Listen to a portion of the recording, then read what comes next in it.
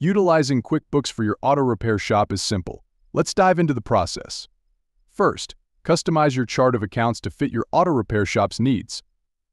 Here are some relevant accounts labor charges, part sales, service revenue such as oil changes and tune-ups, auto parts inventory, shop supplies, repair equipment like rental or leasing, rent and utilities, payroll costs, and marketing and advertising.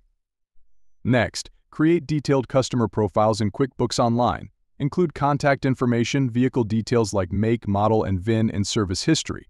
This helps streamline record keeping and personalize future interactions.